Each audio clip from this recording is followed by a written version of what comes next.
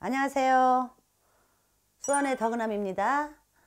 어, 오늘은 2021년 신축년 네. 음, 원숭이띠 예, 한해 운세를 봐드릴게요. 자, 원숭이띠들은 어, 성품이 좀 활발하지.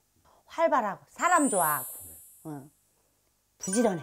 서른 살 이제 임신생 남자분들은 음, 운이 한쪽에서는 된다. 네. 아, 복록이 있을 것이다. 어. 또 한쪽에서는 젊은 층의 귀인이라고 그래야지. 어, 젊은 층의 귀인도 들을 수 있, 있겠다 그래지.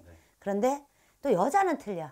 여자는 안정적이지 못해가지고 어, 많이 방황을 해야 된다 그래지. 안정하고 그 기운이 잘 받아만 주면 음, 이 젊었을 때의 기운이 아 나 이런 해가 있었지 네네네. 응, 이러듯이 네네. 그렇게 이제 갈 수 있는 어, 해운년이 될 수 있고 경신생들은 화려하지 어, 직업도 화려한 거가 많아야 돼 네. 어, 화려한 쪽이라는 거는 어, 연예인도 화려한. 직업이고 네. 어, 내가 뭐 물장사 하는 사람들도 그쪽 계통에 종사하는 분들도 화려한 직업이고 네. 또 다른 직업도 화려한 직업이잖아 어, 어, 어떤 애는 물을 조심해라. 어떤 애는 뭐 나무를 조심해라. 어, 어떤 애는 이렇게 풀을 조심해라.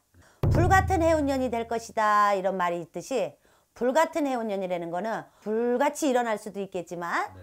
불을 조심해야 할 수도 있다 그래. 그러니까 불조심 화상주의. 네, 그러니까 말하자면 내 몸에 어, 흉터를 입은 화상 같은 것도 있을 수 있으니까 조심해서 7, 8월 달에 조심하셔 화상 조심하고 또 디는 일 아니 조그맣게 디는 거는 상관없어 그런데 그걸로 또 액땜할 수도 있겠지 어, 그러니까 그렇게 넘어갈 수 있고 음, 또 54세 네. 무신생들 어, 목살이 들어오라는 해운년 목 목살이? 어, 절대 집안에 가구 들여놓지 말아라 아 나무로 된 거? 어. 아뭐 전자제품은 상관없어. 네. 밥상, 식탁, 뭐 이런 거 나무로 된 고가구 네. 이런 거 절대라고 그러는 거 표현은 왜 절대라고 표현을 했냐면 달수도 필요 없어.